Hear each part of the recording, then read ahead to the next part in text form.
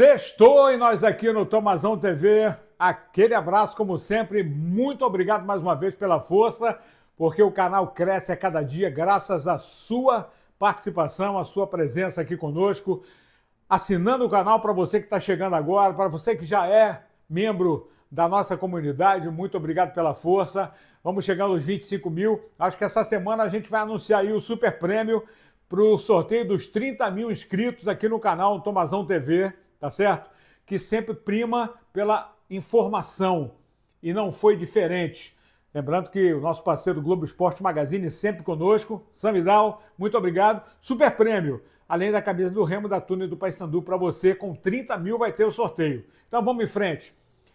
Primando pela notícia, pela informação. Ontem a gente sabia que o Remo não tinha treinador, mas trabalhava com diversas opções, com diversos nomes, e o nome mais cotado naquele momento ontem seria o do Márcio Fernandes, mas a goleada realmente destruiu completamente os planos azulinos e o Márcio ficou numa situação muito complicada, inclusive pediu demissão. Ele, antes de ser demitido, ele pediu demissão no vestiário ainda na Curuzu e mesmo assim a coisa não vingou. E a vitória do Paysandu, que dá um outro astral para essa caminhada da Série B, a gente vai falar já já, tá certo? Bom, com relação ao técnico azulino, a gente ontem falava a respeito disso e dava a informação, inclusive mesmo antes do Remo confirmar, o Remo só deu 8 da noite a confirmação do Rodrigo Santana e nós às 5 e meia da tarde a gente já adiantava que estava fechado. Houveram outras possibilidades. Olha, o Remo trabalhou até com o próprio Roger, que é o atual técnico do Atlético, que ficou empolgado com a proposta, mas com uma questão de fidelidade e agradecimento lá aos dirigentes da SAF, ele preferiu continuar no Atlético, mas não abre mão de uma possibilidade futura. O Eduardo Batista ajudando o Remo na tentativa de contratação do técnico, do Rodrigo Santana, que já havia sido oferecido anteriormente, o Luizinho Lopes estava fechado, mas ele queria mesmo era a Série B e acabou indo para o Vila Nova, enquanto que o Anlaal ficou fora é, do esquema em função da até da discriminação que é a questão da Série C.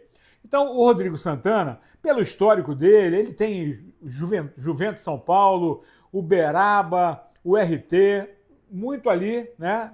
Embora seja paulista de nascimento e foi coordenador técnico do Atlético Mineiro em 2019, 2018 e 2019.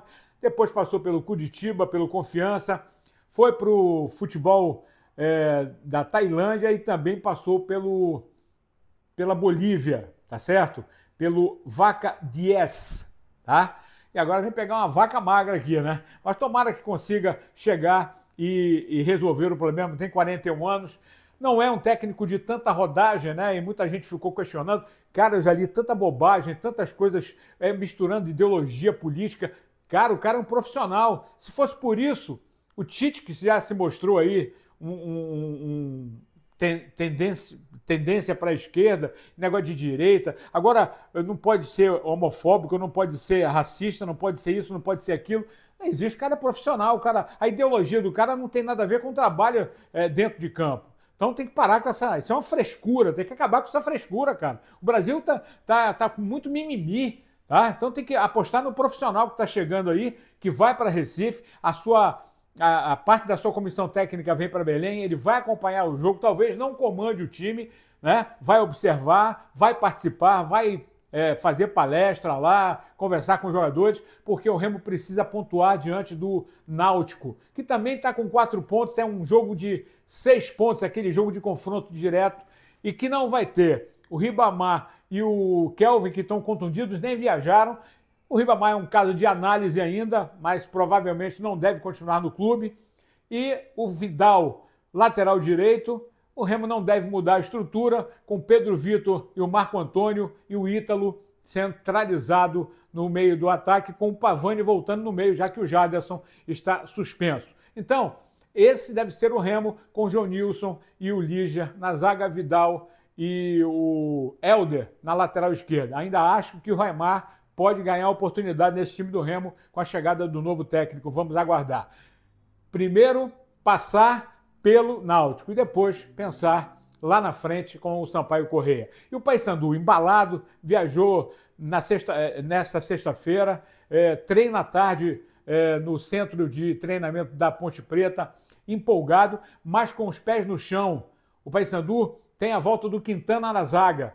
Não deve mexer muito na estrutura do time, até porque esse é o time que começou a ganhar embalo, com o Elis, com o Juninho arrebentando no meio, a bola chegando no Nicolas, vice-artilheiro da temporada no Brasil com 17 gols. Então, tudo isso faz diferença. O Paysandu, lógico, vai enfrentar uma parada dura lá na quarta-feira, embora com 6 a 0 o clima não está legal, mas o Paysandu não tem nada a ver com isso. A vantagem é bicolor. O Paysandu tem seis de, de frente, mas primeiro tem que pensar no Guarani. E vencer é a prioridade. O Hélio sabe disso. E essa vitória contra o Vila dá a condição do Paysandu mudar a chave, mudar o astral e ganhar confiança, porque a bola começou a chegar em quem faz gol. Por quê? O time está se ajustando e principalmente com o Juninho e com o Elis, né? Faltava o quê? Só colocar para jogar. Galera, vamos aguardar. É sexta-feira e o sábado será de puras emoções. Primeiro com o Remo enfrentando o Náutico 17 horas no Aflitos e depois às 21 horas o Guarani e o Paysandu no Brinco de Ouro da Princesa. Tomara que com grandes resultados e a gente fica torcendo para isso, tá certo? Grande abraço e vamos em frente. Um ótimo final de semana.